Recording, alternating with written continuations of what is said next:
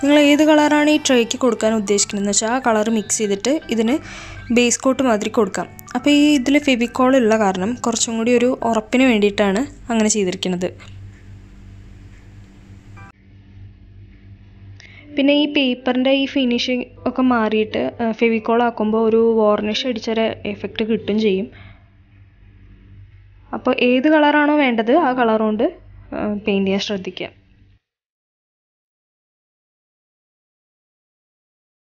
ഞാനിതിലിപ്പോൾ paint ചെയ്യണത് ഒരു simple method വെച്ചിട്ട്. അപ്പോൾ ഇതേപോലെ കുറച്ച് കളേഴ്സ് എടുത്തിട്ട് ആ കളേഴ്സ് ഇങ്ങനെ എന്താ പറയുക ഒരു ഓർഡർ ഇല്ലാതെ മിക്സ് ചെയ്തിട്ട് ഇതിന്റെ മേത്ത് ഈ ട്രെയിലാക്കി കൊടുക്കുക അതിനുശേഷം നമ്മുടെ കയ്യിൽ വല്ല ക്ലിങ് റാപ്പോ പ്ലാസ്റ്റിക് ഷീറ്റോ എന്തെങ്കിലും ഉണ്ടെന്നുണ്ടെങ്കിൽ അത് ഈ പെയിന്റ് നമ്മൾ ആക്കിയതിന്റെ മുകളിലായിട്ട് വെക്കാം. അതിനുശേഷം നമ്മുടെ കൈ വെച്ചിട്ട് നന്നായിട്ടൊന്ന് പ്രസ് ചെയ്ത് കൊടുക്കുക അപ്പോൾ ഈ പെയിന്റ് നന്നായിട്ട് സ്പ്രെഡ് ആവും. എല്ലാതും കൂടി തമ്മ തമ്മിൽ മിക്സ് ആവുകയും ചെയ്യും. അപ്പം നല്ല ഭംഗിയാണ് കാണാൻ. ഇതാ ഇതേപോലെ നമ്മുടെ കൈ വെച്ചിട്ട് ഒന്ന് പ്രസ് ചെയ്ത് കൊടുക്കുക എപ്പോഴും വെള്ള കളർ ഒന്ന് മിക്സ് വരാൻ ശ്രദ്ധിക്കണം. വെള്ള വരുമ്പോഴാണ് ആ ശരിക്ക് എല്ലാ കളേഴ്സിന്റെയും ഭംഗി കിട്ടുക വൈറ്റ് വരുമ്പോഴാണ്. അപ്പോൾ അതാ കഴിഞ്ഞ ഇതുമാതിരിയാണ് ഉണ്ടാവുക ഇനി നമുക്കിത് ലാമിനേറ്റ് ചെയ്യണം. അതായത് ഞാൻ നേരത്തെ പറഞ്ഞ പോലെ ക്ലീൻ ചെയ്യാൻ വിധത്തിലുള്ള ഒരു എന്താ പറയുക ആ ഒരു രീതിയിലേക്ക് എത്തിക്കണം.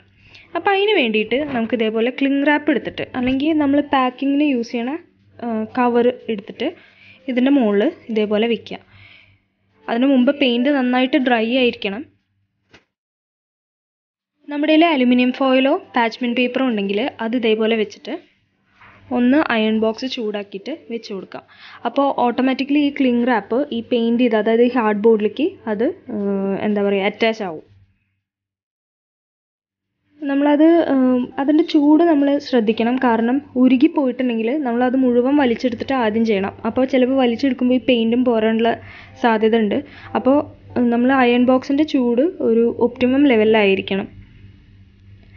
ഇതിന്റെ സൈഡ് സൈഡ് പോർഷനിലൊക്കെ എന്താ പറയുക നമ്മൾ ഈ ക്ലിങ് റാപ്പിനെയും ഈ അലുമിനിയം ഫോയിലിനെയും ഒപ്പം മടക്കി വെച്ചിട്ട് നമുക്കൊന്ന് ഇസ്തിരിയിട്ട് കൊടുക്കാം. അപ്പോൾ ആ ഭാഗമൊക്കെ ഇങ്ങനെ കറക്റ്റ് എന്താ പറയുക നന്നായിട്ട് ലാമിനേറ്റ് ആയ പോലെ ഇരിക്കും.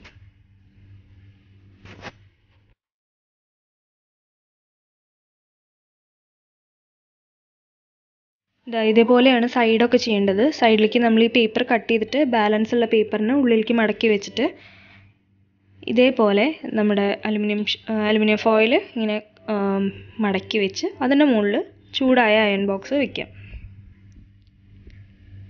ഇനി നമുക്ക് ഇതിനെ ഇതിന്റെ കോർണേഴ്സ് ക്ലോസ് ചെയ്തിട്ട് അതായത് ആ ഷേപ്പ് കിട്ടാൻ വേണ്ടിയിട്ട് നമുക്കവിടെ എന്താ പറയുക ആ ബാക്കിയുള്ള ബാലൻസ് വന്നിട്ടുള്ള ക്ലിങ് റാപ്പൊക്കെ ഒന്ന് വെട്ടിക്കൊടുത്ത് നീറ്റാക്കിയതിന് ശേഷം ഗ്ലൂ ഗണ്ണ് വെച്ചിട്ട് ഒട്ടിക്കാം.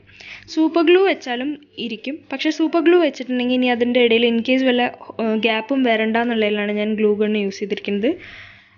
ഗ്ലൂ ഗണ്ണ് യൂസ് ചെയ്തിട്ട് നന്ന നല്ല ടൈറ്റായിട്ട് നമ്മളൊന്ന് ഹോൾഡ് ചെയ്ത് വെക്കണം. അത് അപ്പോൾ കറക്റ്റ് ആ ഷേപ്പ് കിട്ടും.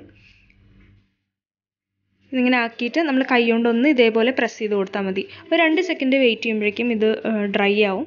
അപ്പോൾ തന്നെ നമുക്ക് എന്താ പറയുക ആ ഷേപ്പ് വരണം നമുക്ക് അറിയാൻ പറ്റും.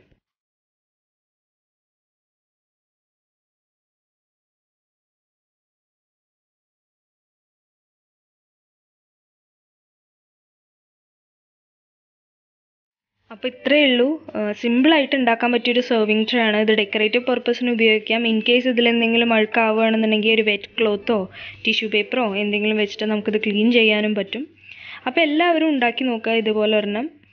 അപ്പോൾ നമുക്കിനി നെക്സ്റ്റ് വീഡിയോ ആയിട്ട് വീണ്ടും കാണാം. Until then by